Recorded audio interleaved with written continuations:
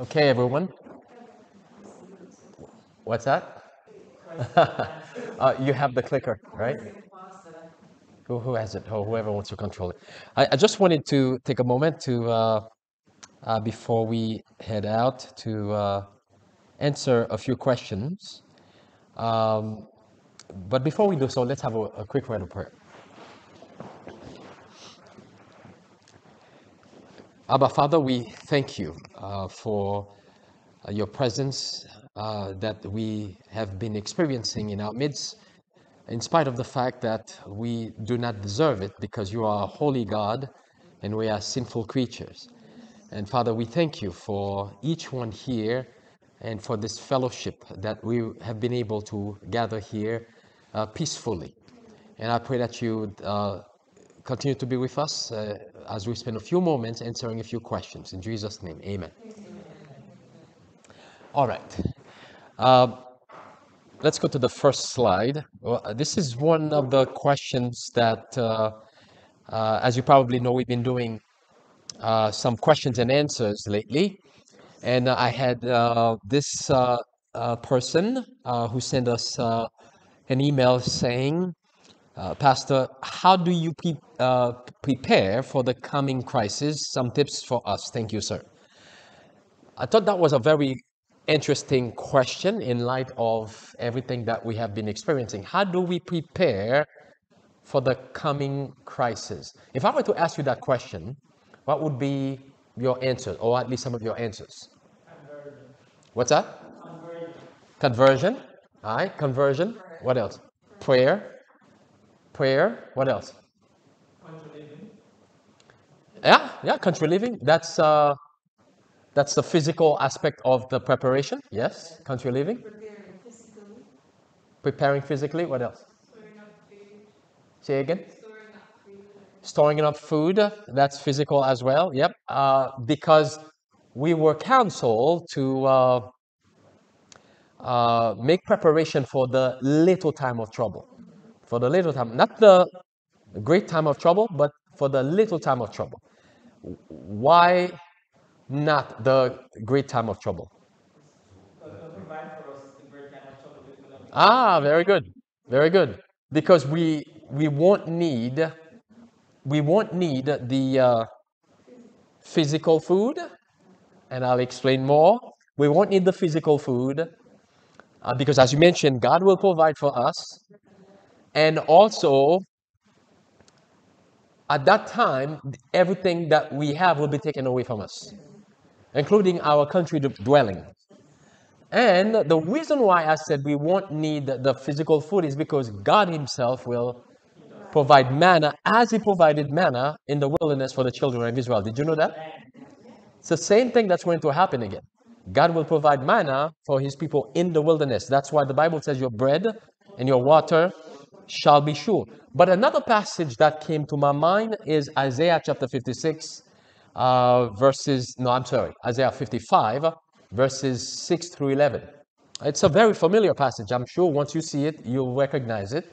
Where the Bible says, Seek ye the Lord while he may be found, call ye upon him while he is near. Let the wicked forsake his way, and the unrighteous man is taught, and let him return unto the Lord, and he shall have mercy upon him unto our God, and he shall abundantly pardon. That is part of the preparation that we must do to seek the Lord while he may be found, to seek him like we've never done this before. Also on the screen, go to the next slide. Spirit of Prophecy says from Review and Herald, June 21st, 1906, we are to have clear spiritual discernment.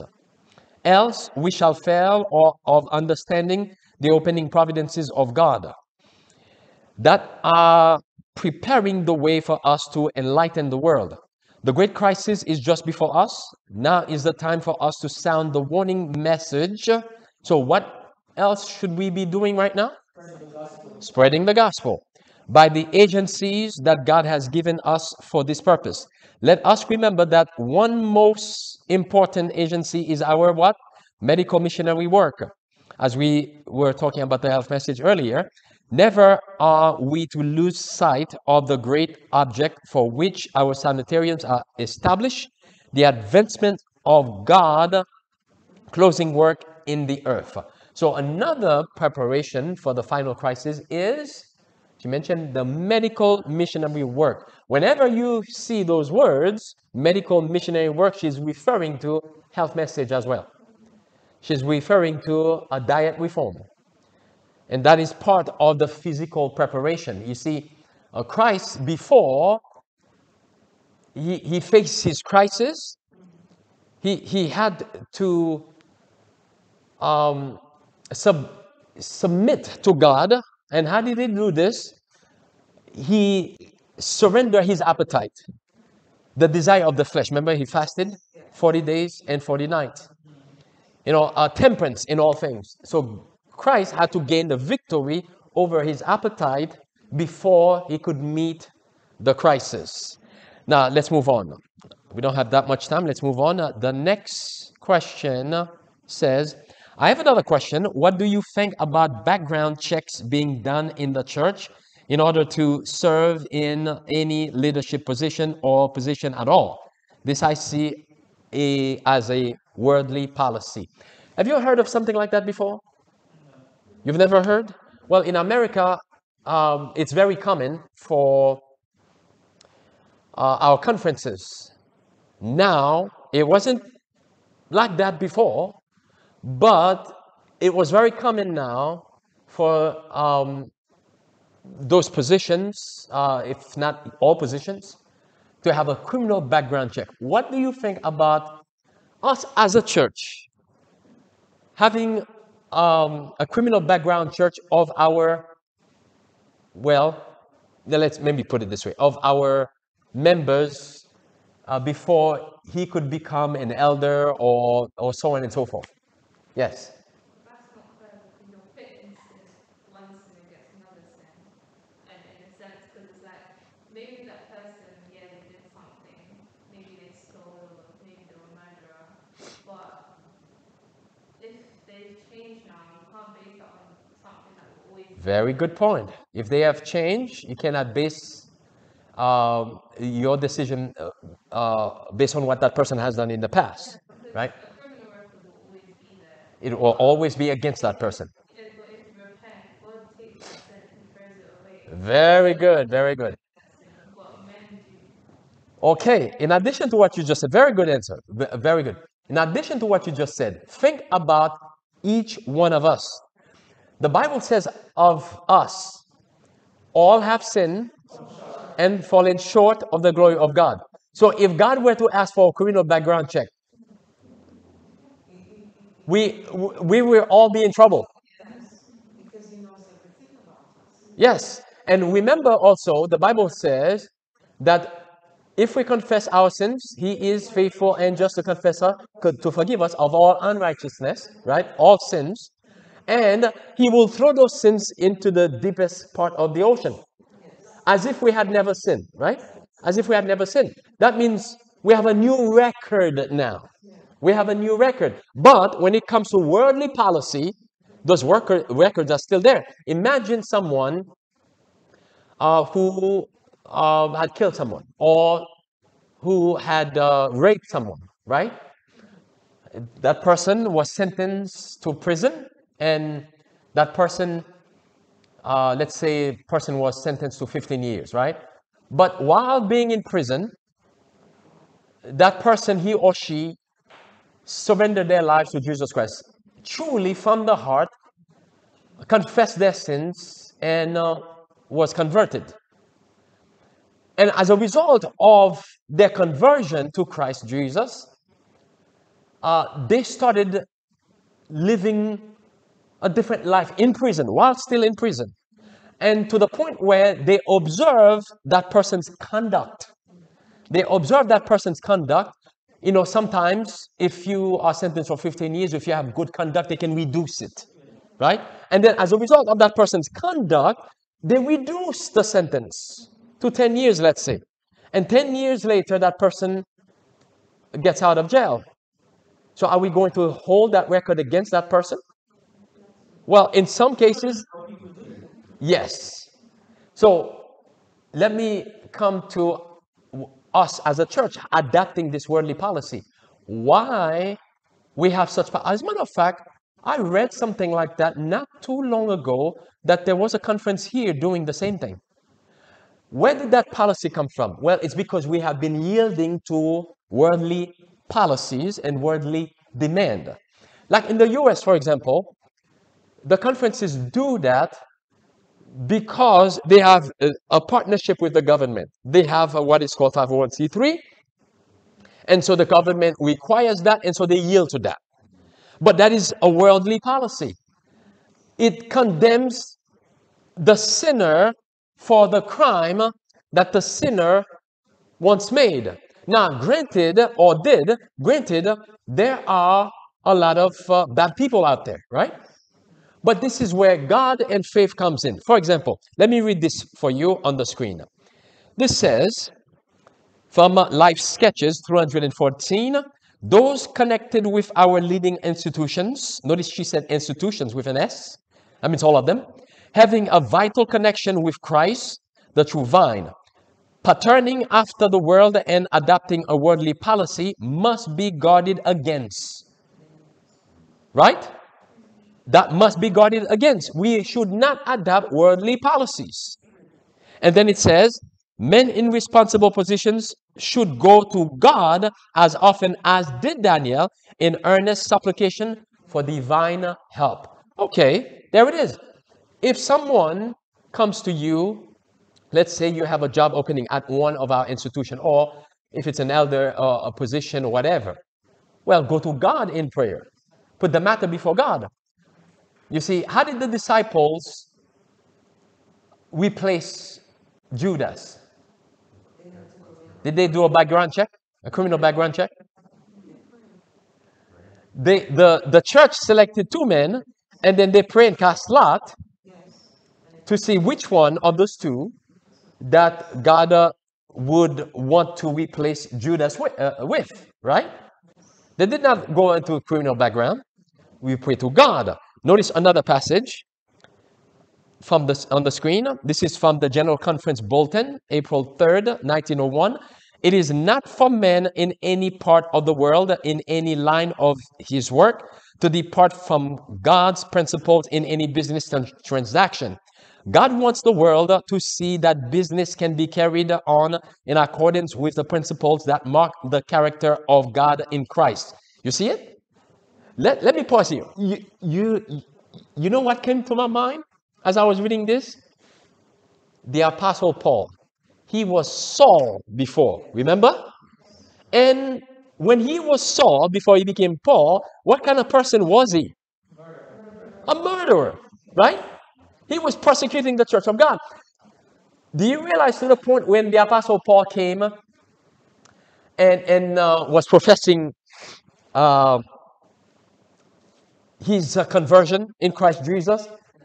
The Christians, did, the, the apostles, they, they were afraid to receive him. They did not want to receive him because they did not believe. They, they, they see him as Paul the persecutor. They say, hey, this is a trick. You see, this is a trick. But they had to put their faith in God. To, even uh, when, after God knocked him off his horse, remember that in Acts, the book of Acts?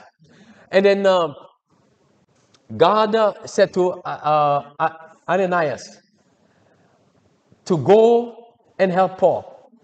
Uh, well, he was Saul then, and go and help him. Now, Ananias was telling God something God did not know. Lord, this is the same man who's been persecuting you, uh, your people, and so on and so forth. As if God did not know that. you know, as if, as if this, this was news to God. God. What did God say to him? Uh, yes, I know about it. I have chosen him. I know.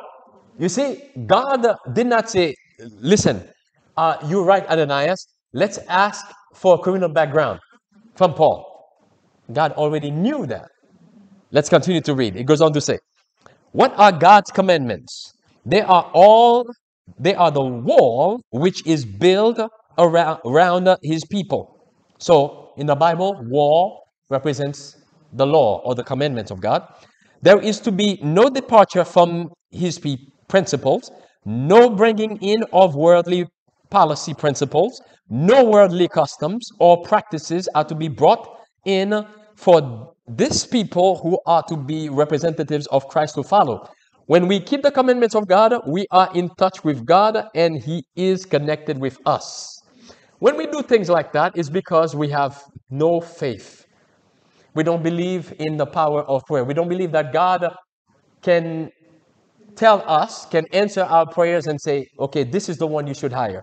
This is the one you should put in that position.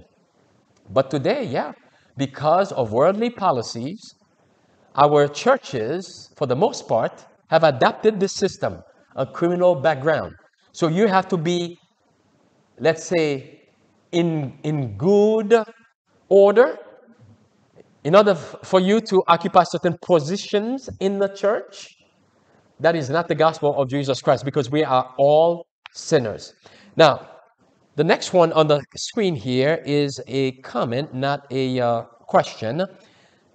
Now, this was dealing with a question that was asked to me last Sabbath over a week ago, and this, this was about um, dreadlocks. You know, dreadlocks?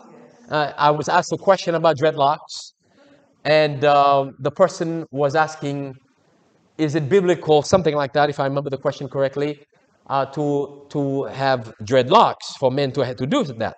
And I did answer that question, but uh, I will talk about it a little bit more. But this person says here, uh, in regard to that same question, it says Rastafarism is a religious belief by Rastas. They believe in uh, Haile Selassie, Haile Selassie, who they consider to be God, letter G. The hair is a vow that they took to be part of the religion. It's called the Nazarene vow to maintain the tradition of lock hair. So if someone becomes a true Christian to follow Christ, then they should remove this excessive hair to renounce the religion, cut it off. Why hold on to the idea and be a Christian as well? You can serve two masters. Well, I'm taking meant to say you cannot serve two masters. That is true. It is a religion. And I appreciate this person uh, adding that to the answer that I gave. It is a religion. When, when you join the church, if that was a lifestyle you were living before, and knowing where that came from, like Bob Marley, for example, you know, I grew up, you know, when I grew up on the island around Ra- Rastafarism. You know, lots of guys listening to Bob Marley, and they had the dreadlocks and all of those things. I remember those things, and then they were smoking as well. they and they were like chimneys. They, they were more, and and I know whenever I see somebody, I, I don't judge people, but whenever I see somebody with uh, uh, dreadlocks, that's what it reminded me of when I was a little boy growing up. I remember those those people uh, um, with dreadlocks, and there was not one of them that did not smoke drug. There was not one of them. All of them, as I remember it correctly, all of them. And that was the religion. They and their leader was Bob Marley. Bob Marley was their leader. And and that's that. You ask them, hey man, uh, you know, Bob Marley, this and that, and the other. So, and another thing is, it has the hygiene problem because they would go for a very, very long period of time and not washing the hair. You see, not washing their and in, in addition to that, it does not look good. Now, the question that one must ask himself is that glorifying God or is that glorifying self? Is it something that I'm doing for myself because this is what I like, what I want, or is it something that God ordains? You see, there's only two ways in this. It's either the first one I mentioned or the other one. It's either because of God or it's because of self. And if it's because of God, where do you find it in the Bible? Because God requires cleanliness among his people. Now let me share a passage with you. Matthew 6. Go to Matthew 6. Which which book we're going to? in light of that, let me share Matthew 6 with you. Matthew 6. And notice what the Bible says in uh, Matthew chapter 6. Let's begin uh, in Matthew 6. Are you there? Uh, let me back up here to verse 17. Now, Jesus here is dealing with fasting, okay? But notice the application here in connection with uh, Rastafarism or dreadlocks. It says, Moreover, when ye fast, be not as the hypocrites of a sad countenance, for they disfigure their faces, that they may appear unto men not to fast. Verily I say unto you, they have their reward.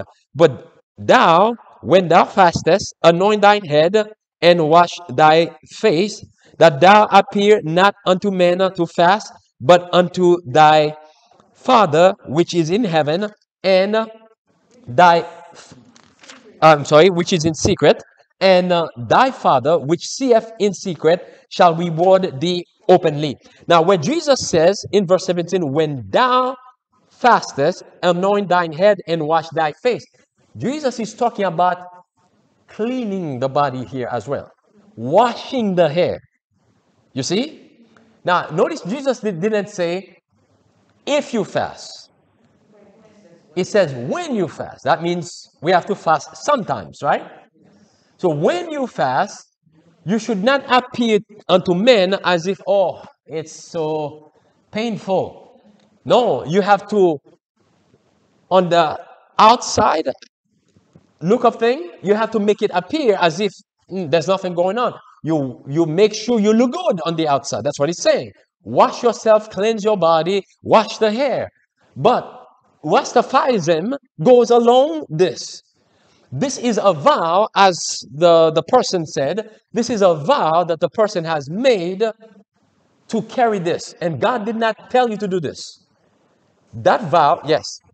Also, um, Spirit says something along the lines, because when we see somebody with uh, dreadlocks, we associate them with Rastafari and Bob So then our influence is dead. Our influence is what? Yeah, yeah. Oh, yeah, yeah. Gotcha.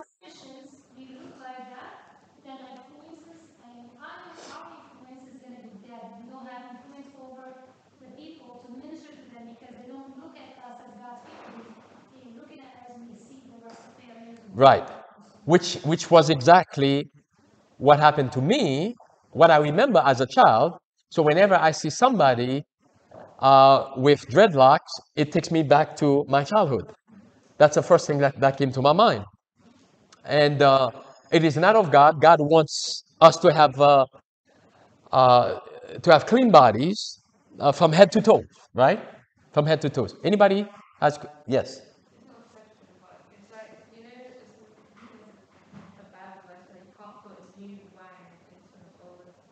A very good example. You cannot put new wine into an old vessel, right?